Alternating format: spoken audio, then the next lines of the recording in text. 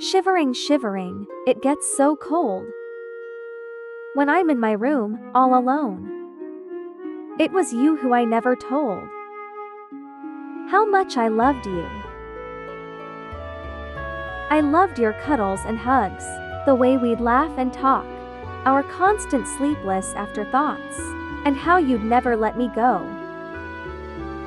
I miss your sweet dreams and shower thoughts, your cutesy voice and silly songs, but never did I think that you'd use it to tell me goodbye.